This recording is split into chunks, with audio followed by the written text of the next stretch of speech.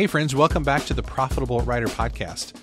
If you're new here, my name is Kent Sanders. I'm an author and a ghostwriter, and this is the show that helps you grow your impact and your income as a writer. Well, I've got to say that it's really, really good to be back. I have missed actually the last few weeks of the show because I've been recovering from bronchitis, of all things, which I have not had in a really, really long time. But basically, the whole month of January, my voice was pretty much shot, and it would have been really difficult to do a podcast during that time. But I'm pretty much up and running now and really, really excited to be back with you. And I also want to say a huge thanks to those of you who have gotten in touch the last few weeks asking, Hey, where are you? Are you okay? When's the show coming back? We miss having Kent Sanders in our ears. And gosh, I can't tell you for those of you who sent me those kind of messages, it really, really does mean the world. You know, sometimes things like blogging and writing and doing email newsletters and social media, sometimes those things can be a little bit lonely because you put stuff out there and even though there's technology to help us see who um, well, I don't, it's really hard to see like who listens to podcast episodes, but you can see who opens your emails and you can see who makes comment on social media posts and those kinds of things. But still, yet it's really, really cool when you get those personal messages from people saying that a specific episode has impacted them or that they miss your episodes and hey when, when are you coming back? That's really really cool. So thanks to those of you who have reached out the last few weeks. I really truly appreciate it. Well, let's dig into today's topic which is ghostwriting. You know the number one topic that people ask me about is ghostwriting. In fact nothing else even comes close. There is seldom a week that goes by when i don't have at least one person ask me about ghostwriting in one form or another and the questions that people ask me about ghostwriting usually fall into several categories. They ask things like, What is ghostwriting? Why would you want to write books for other people when you could just focus on writing your own books? Or why don't people just write the books for themselves? Why do they need somebody else to do it for them? Sometimes people ask, Is ghostwriting even ethical in the first place? Like, is it really okay ethically for you to write a book and for then somebody else's name to be on the book? And then, of course, the question that everybody wants to know, but sometimes people don't really ask, but they always are curious about is how much money can you actually make as a ghostwriter? And I got to tell you, these are all really good questions. And I get versions of these so often that I thought it would be kind of fun to do a podcast series covering the basics of ghostwriting, hence the title of this series, which is called Ghostwriting 101. And since this is primarily a business focused podcast for writers, I'm going to talk about ghostwriting as a business primarily, and I'm not going to really get into the mechanics or get into the weeds of like the art of writing books and like how to write a book and book structure and those kinds of things. Maybe we'll do, um, it would have to be a long series probably. Maybe I'll do a series on those kinds of things a little bit down the road. But this series, Ghostwriting 101, is really going to be focused on these kinds of questions. Why would you want to do this? Uh, what is ghostwriting all about? How do you get started? Those kinds of questions. So let's dive into the question that is probably the most obvious one, which is what is ghostwriting to begin with? Really simply put, ghostwriting is writing books in somebody else's name for hire. Basically, they pay you, you write the book as the writer, and their name goes on the book. Sounds pretty simple, right? Well, maybe that's the case, but in practice, there actually are a lot of variations to this simple sounding definition. Ghostwriting can actually work a lot of different ways. First of all, in my experience, ghostwriting is almost always a collaboration between the author, in other words, the client, and you as the ghostwriter. And that collaboration can take a lot of different forms, but in my experience at least, it's almost never a situation where the author is not involved in the book at all. And you, as the ghostwriter, are doing 100% of the book planning and writing and creative work. Uh, the closest that I've ever had that happen was a project that I did a few years ago where um, where the authors basically said, "Hey, can you do a book on XYZ topic?" And I said yes, and they gave me a few stories for the book, um, but otherwise the book was basically mine, and I was fortunate to have cover credit on the book, and it was actually a really really fun project. Uh, the clients were fantastic to work with, but essentially they just kind of let me go off and do my thing and I wrote the book fairly quickly and they were happy with it and we went through the normal editing process and all that stuff. Um, that's not usually the case though. My experience at least has been that it's almost always some measure of collaboration where the author slash client is providing stories. We're planning the book together. They're giving me some kind of framework for either the story they want to tell or some kind of business process or whatever it is. And that's actually one of my favorite things about about ghostwriting is just the collaboration that happens with really really cool people. So I'll get into that in a little bit. Let me answer this other question that people sometimes have about ghostwriting, which is why don't people just write their own books to begin with? And that's that is absolutely a fair question. You know, if somebody wants to write a book so bad, why don't they just go do it themselves? Well, the short answer is that not everybody is a writer.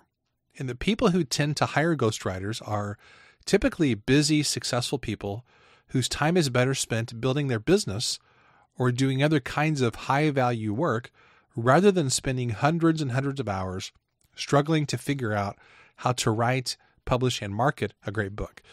Basically, it's the same exact reason why I don't try to repair my vehicles. And I'll give you a quick story. This happened just three or four months ago. Um, so I drive an old 2002 Ford Ranger. Now, when I say that, people are always like, "Oh gosh, why in the world do you drive this old, you know, crotchety truck that's like on its last legs and and whatnot?" Well, the reason is actually pretty simple. It's because um, I'm you know cars are not really my thing. Like other other items are my thing. I love nice computers. I love nice guitars. I love other nice things. I've never really been a, a car person, so I can drive an older vehicle and it's totally fine with me. Uh, my wife and my son they have the nicer vehicles because I want them to be safe and comfortable. Meanwhile, I kind of drive the old uh, the old truck that's you know like 20 at this point 22 years old and also I like I rarely go anywhere. Whenever I go on a trip, I usually just rent a car. So I basically drive a few miles at a time, a couple times a week, but but I work from home, so that's that. Um, but I did have a thing a few months ago where I needed to replace the alternator in my truck. I knew that was what was wrong with it, and I tried replacing it myself, and I actually just made a bigger mess of it. Uh, I got the tools, and I was like, oh, "I'm going to do this. I'm going to watch some YouTube videos and do it." you know, kind of a typical man attitude. But I got into it and I was like, I don't have any clue what I'm doing. And I think I messed something up. So I ended up having to take it into the shop and they did it. And the process of me taking my vehicle into a mechanic is exactly the same reason why people hire me as a ghostwriter. It's because we don't want to spend the time to mess with something that is not our area of expertise. We'd rather pay the expert to do it rather than having to do it ourselves because I have better things to do with my time uh, apparently, I didn't on that particular Saturday back in November or December. But I have better things to do with my time generally than mess around in the guts of my truck's engine trying to figure out things that I don't really know what's what. So therefore, I took it to the mechanic. People hire me as a ghostwriter for the same reason. They're too busy running their business. They're too busy doing other high value work for them to try and mess around with trying to figure out how to write a book themselves. You know, ghostwriting is actually really, really common in a lot of parts of society that maybe you have never considered. For example, if you've ever heard a president give a speech like a State of the Union address or some other speech, you have absolutely heard the work of a ghostwriter. Presidents always have speechwriters. It's extremely rare that a president will write their own speeches. Now, they almost always edit them and put things in and they go through drafts and all that stuff, but a president doesn't have time to sit down and write a speech. That's why they have a speechwriter. So, anytime you've heard a president give a speech, you've almost always heard the work of a ghostwriter on some level. Now, let's bring it down to a more personal level. If you've ever purchased a Hallmark card for somebody's birthday or for Valentine's Day, we recently celebrated Valentine's Day, you have used the work of a ghostwriter yourself. There's a writer who created the words on that card, and you purchased that card because it expressed something that you wanted to say. You didn't have the time or the skill to make your own card for the birthday or for Valentine's Day. So, in essence, you hired a ghostwriter to express those thoughts for you. That's all that a ghostwriter is. A ghostwriter is a person that somebody hires to express the thing that they would express if they had the time, the talent, or the skill to do it themselves. When it comes right down to it, that's all that ghostwriting is. You are a mouthpiece, you are a voice that that is speaking on behalf of that person because you have the skill and you have the desire and the ability to say it in a way that they can't say because they don't have the time or the skill to say it themselves. It's really, really common once you start to think about ghostwriting. It's super common for people to do that on behalf of others. So you probably know I used to be a college professor. It was super common um, there, as it is in every business or organization or college or church. It was super common for the president's secretary or administrative assistant to write a letter to donors or to other people on behalf of the president, and then the president would make changes, sign it, and send it out because the president has other things to do besides just sitting down and like drafting all these letters. Super, super common. That's all that we do as ghostwriters. We are a mouthpiece, we are a voice for people who don't have the time or the skill to write themselves. Now, let's talk about why ghostwriting is a great business for writers. Now that I've kind of set some context for this topic, let's get into the guts of what this episode is all about to begin with, which is why writing books for others is a great business. Let me give you 10 reasons, and this is kind of taken from David Letterman's top 10 list. So let's dive in. Number one, Ghostwriting is a great business because you can work on your own time.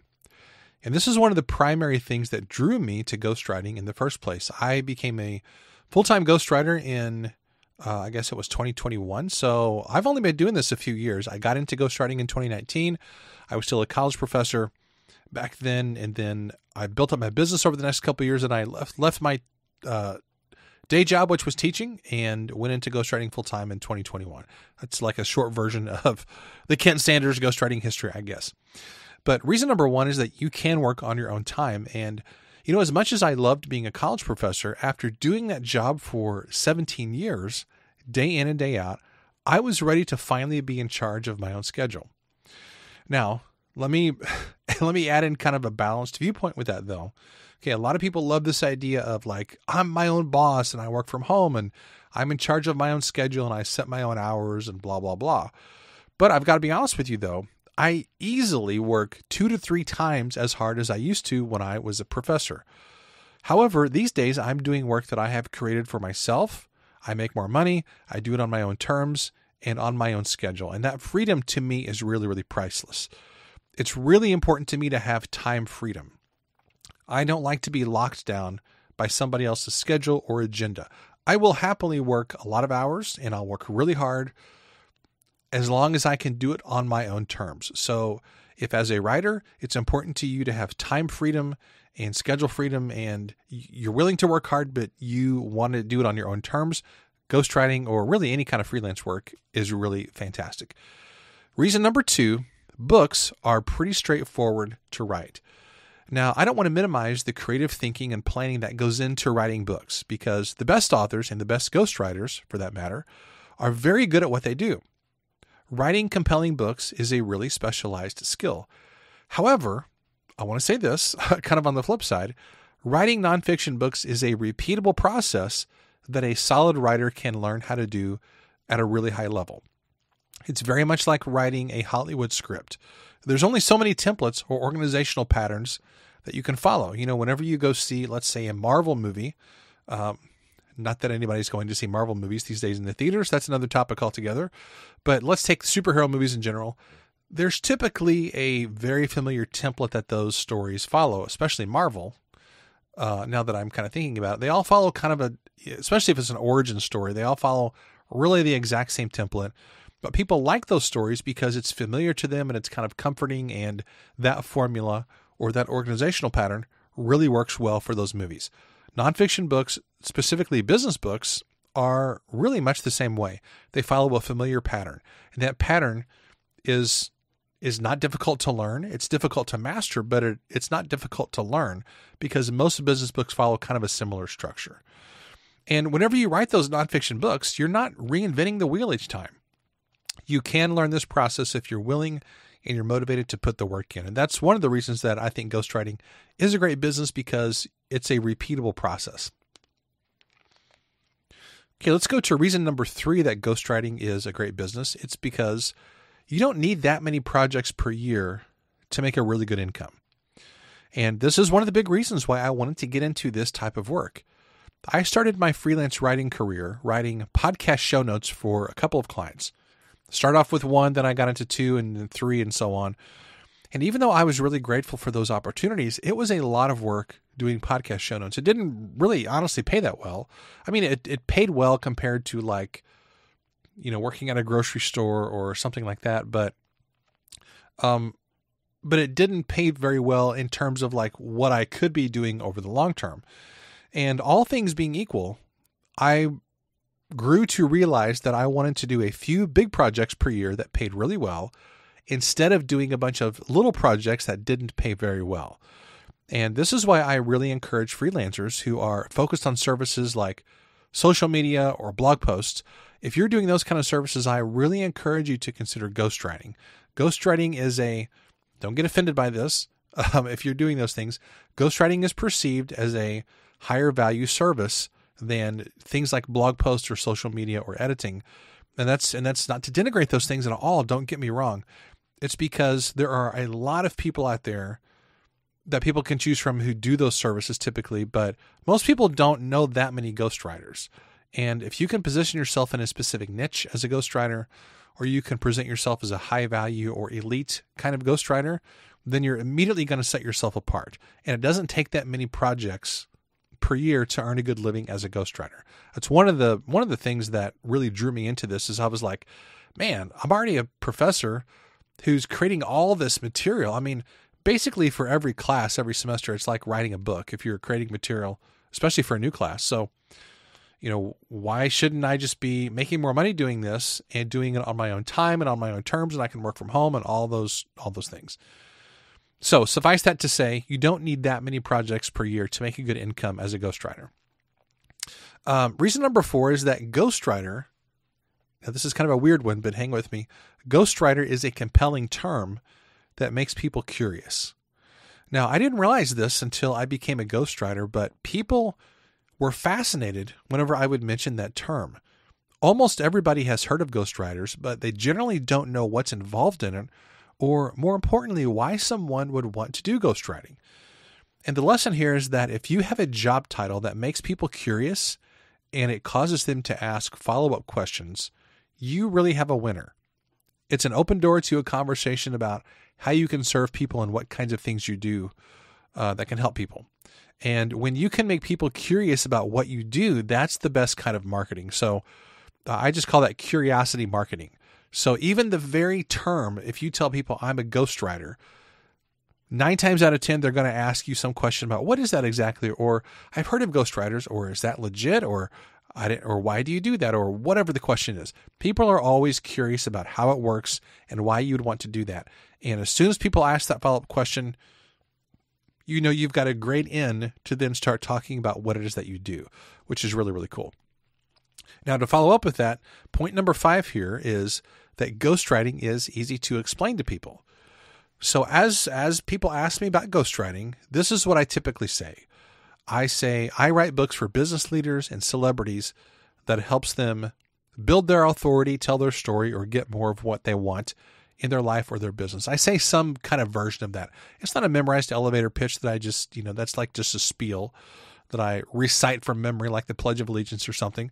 It's something that I just work organically into a conversation. But the point is that it's really easy to explain to people. I write books for people. I mean, literally, you can say it in four or five words right there.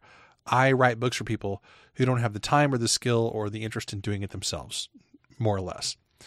And I think when you can explain what you do to people very succinctly and very simply, like you're explaining it to a kid, that's a winner because if people get confused by what you do, they're going to tune out.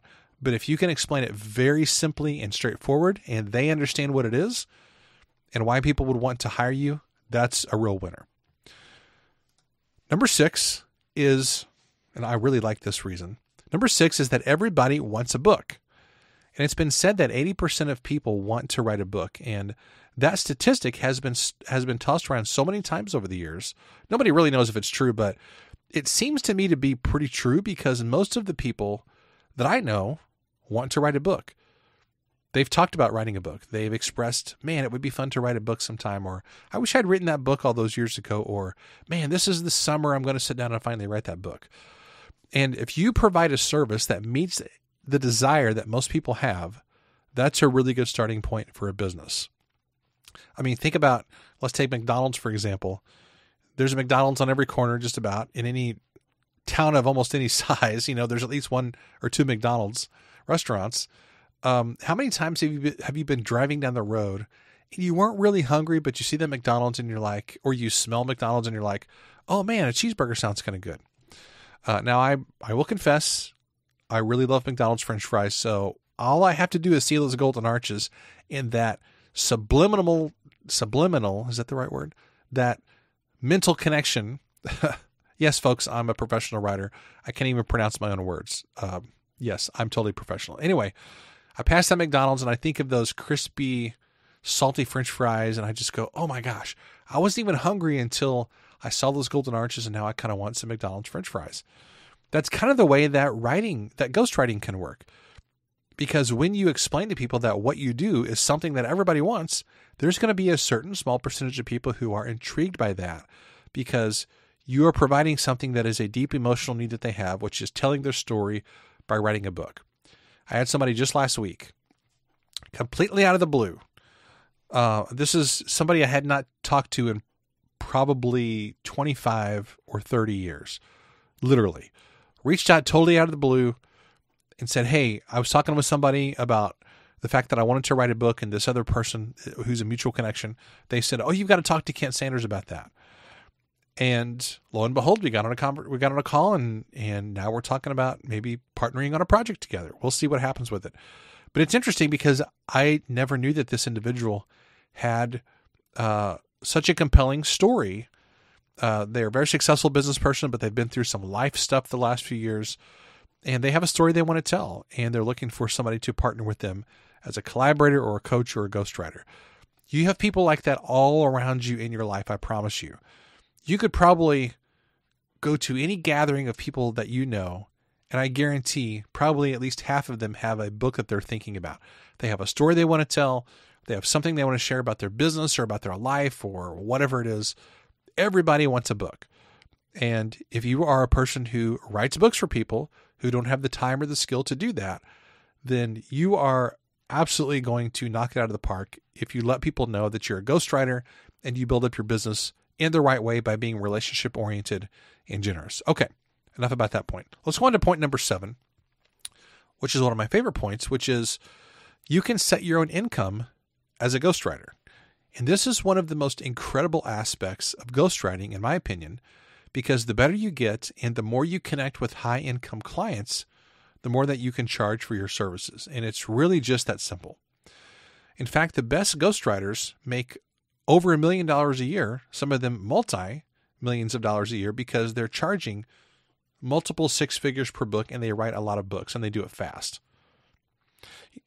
You know, one of my big frustrations with teaching college was that I felt like there was always a low ceiling on my income. And I understood our, you know, I understood our industry. I understood why we weren't paid that much, and I was okay with that.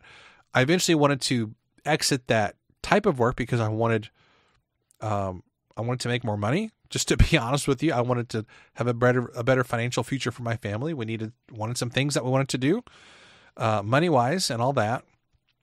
Um, but I was also frustrated because I felt like I didn't have any opportunities there to make more income. I mean, you could teach like an extra class or two per year, but I was only going to get maybe, you know, like three thousand extra dollars per year if if I taught two or three extra classes, or if I took on some independent studies, or when I was teaching guitar, if I did a bunch more guitar lessons, or whatever it was. Um, even if I worked a lot extra hard, um, my income wouldn't go up by, you know, that much, just a few thousand extra dollars. And so I was always frustrated by that. But the cool thing is that with ghostwriting, there really is no ceiling on your income. You can basically earn as much as you want to if you're willing to grow your business over time and you're willing to become more skilled at what you do. It's really all just a matter of getting better at what you do and growing your network so that you're you're being put in touch with people who can afford to hire a higher value and more expensive ghostwriter. That's really just what it comes down to, to be honest. Uh, but I think it's pretty cool because as a ghostwriter, you can set your own income. There's no ceiling on it, really. Now, one of the reasons for that is reason number eight, which is that ghostwriting is not a commodity based business. Now, this is connected to the previous point, and I want to point out a big difference between ghostwriting and other services like writing blog posts or doing podcast show notes, social media posts, doing podcast production, doing editing, and other freelance kinds of services there are pretty standard market rates for those kinds of services. But let's be honest, it's it's kind of a challenge to make over six figures a year offering those commodity based services because you're competing with a lot of other people. And oftentimes, clients are comparing a bunch of service providers and they're choosing the lowest priced ones. And um, I have high respect for editors. I truly do. Editors are amazing people. But one of the downsides of, let's say, doing something like copy editing or line editing is that it's going to be a challenge for you to raise your rates very much above what the market rate for that service is. Most of the, the pro editors I know charge somewhere between five, uh, I'm sorry, somewhere between four and five cents a word for line and copy editing. And the truth is that there's there's only so many of those projects that you can do. You know, th- there's really I've actually never heard of like an elite line editor or a copy editor who charges like 10 cents a word for that service or 20 cents a word. It just is not a thing that I've ever heard of. But there is such a thing as elite ghostwriting where people charge way, way more than the standard market rate for professional ghostwriting, sometimes several times more than the market rate. Why is that? It's because ghostwriting is perceived as a higher value service than more commodity based things like podcast show notes, social media posts, blogging, those kinds of things. Now, if you're doing those kinds of things, I'm not, please don't misunderstand me or mishear me. I'm not trying to be insulting or I'm trying, I'm, I'm definitely not denigrating those ser- services or anything of that nature because I've offered most of those services myself. But I think if, if you want to increase your income over time, then you have to increase the type of thing that you're offering and you have to shift over to a type of service where you can charge a lot more for it because it's perceived as more valuable um, and that's because the client is perceiving it as a higher value service. Right or wrong, that's just the way that it is. And so if you want to make more money by doing a service based type of work for clients that involves writing, then I would suggest ghostwriting or copywriting as one of the two things that you can, you know, the better you get, you can just keep charging more and more and more for it because you're offering a higher and higher value to those clients. So again, if you're involved in those things, don't get offended. I'm just kind of the messenger.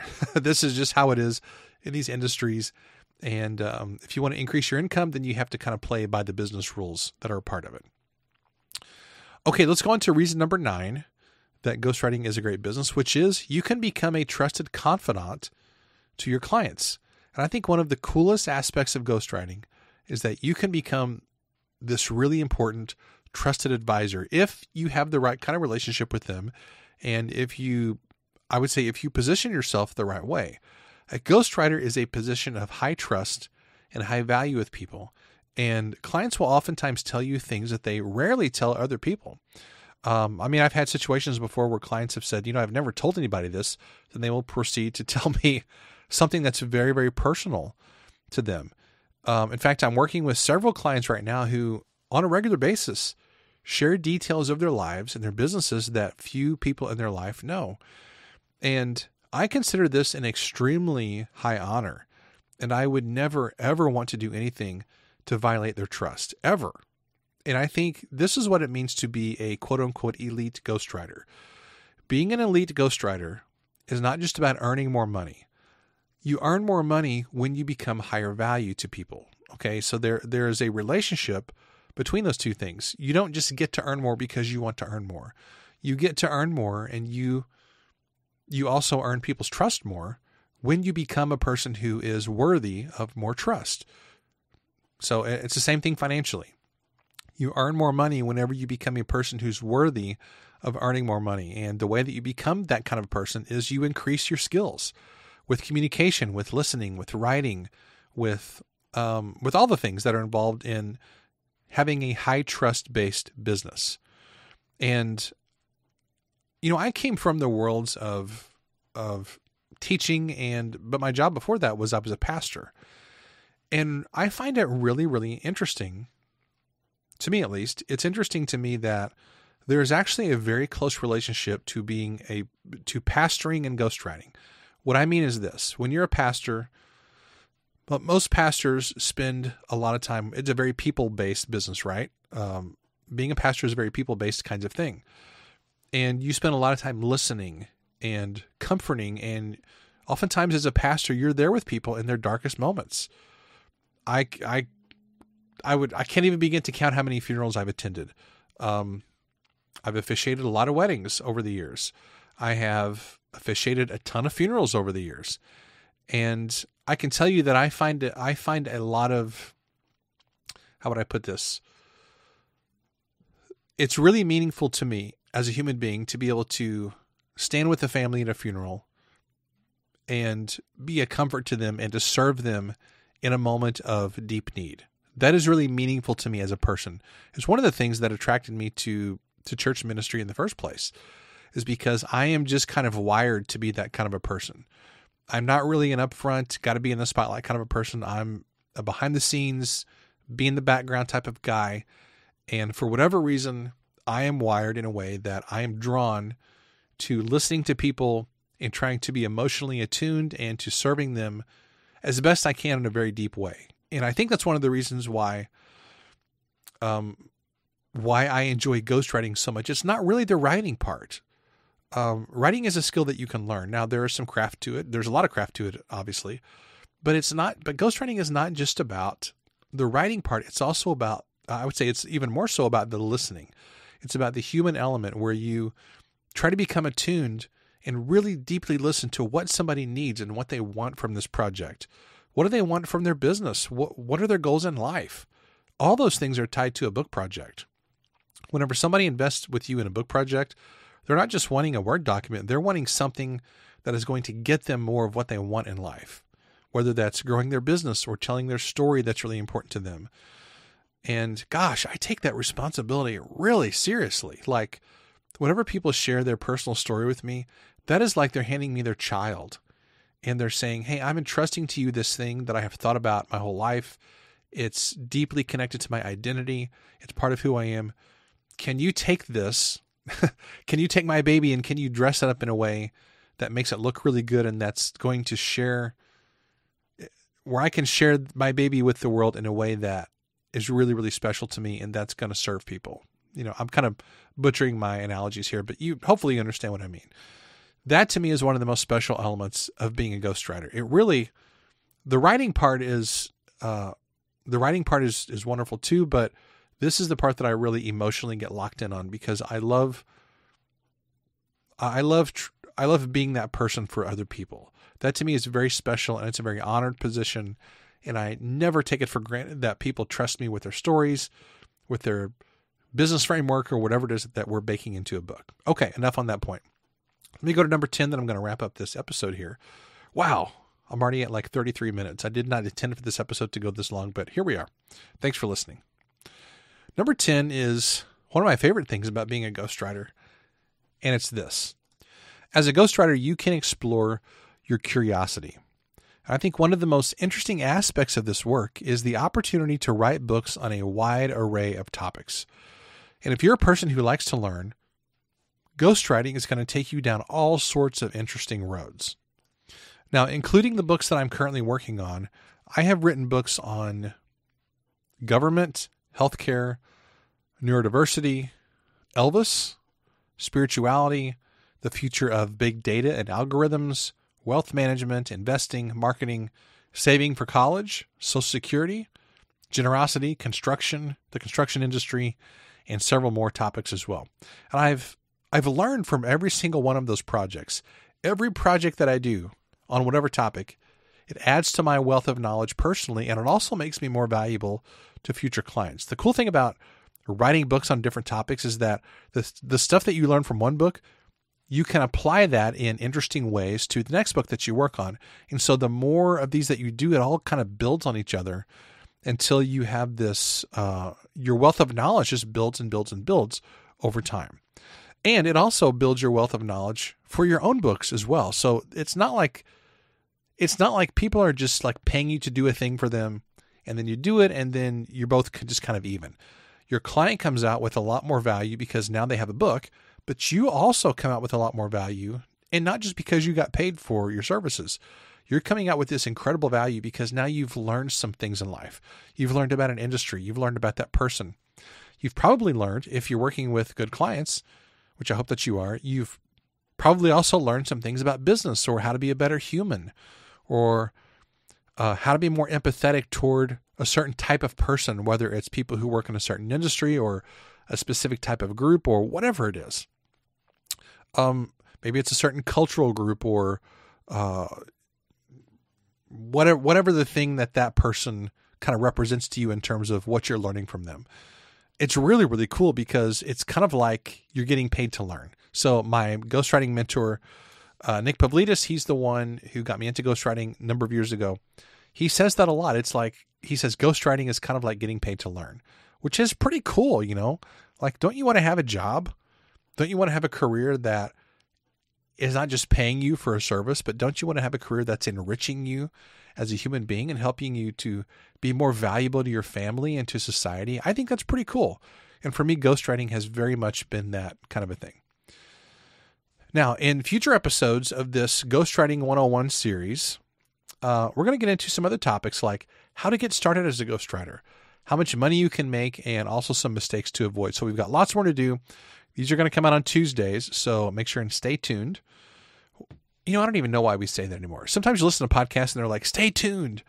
And then there's a part of me that's like, hey, it's not 1985 anymore. People don't, you know, we don't tune into a podcast like you tune into a radio station. But anyway, I'm a child of the 80s. What can I say? Uh, in the meantime, if you have never considered making ghostwriting part of the portfolio of ways that you can serve people and that you can make a great living, I really, really hope that you're going to do so. And I want you to do a favor for me, um, a little small favor. I am considering putting together a course on ghostwriting. And I would love to hear from you. And I'm I'm completely serious about this. You know, sometimes on podcasts people say, "Hey, I'm thinking about doing this or that," and and they don't really ask for a response. I'm asking you, literally, for you to get in touch with me and let me know if you would be interested in some kind of formal course on ghostwriting. I'm very seriously considering putting this together because people ask me about ghostwriting so much that um, I kind of feel like I'm doing people a disservice if I don't package this in a way that's digestible and that that is e- that makes it easy for you to get started. I think there's a lot of things that are involved in getting started successfully as a ghostwriter that nobody's talking about, and very little of it has anything to do with business. It I think a lot of it has to do with relationship building and something that drives me crazy. I try not to rant on this podcast, but I'm going to take 15 seconds to do a little tiny rant. Is that there are a lot of people out there who are teaching others how to build a business by sending cold emails and cold pitching and reaching out on LinkedIn with all these cold messages and and, and cold pitching basically means you don't have a relationship with that person. I think that's an awful way to build a business. It doesn't work and it's not relationship driven and you will never ever hear me teaching that's the proper way to build a business because in my opinion it's not. I am a relationship driven person. I think the best way to build a business is by giving and serving being being a person of excellence and delivering value before you ask for anything. That's how i built my business and it has worked really well and i would encourage you to do the same thing as well. So long story short if you would be interested in a go a formal ghostwriting course that probably would be cohort based. Um, it would be like a ghostwriting 101 type of a course. I don't know how long it would be or any details, but you would probably go through with a group over a period of weeks or or something like that through some basic material to get you started on the path to ghostwriting. I would love to hear from you. You can email me at kent at theprofitablewriter.com theprofitableWriter.com. It's Kent at theprofitablewriter.com.